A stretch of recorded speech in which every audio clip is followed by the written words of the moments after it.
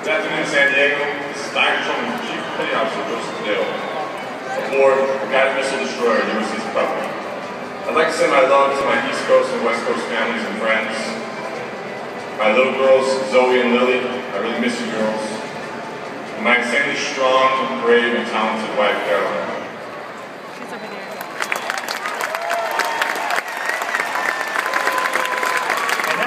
In the August, Caroline presents God Bless America.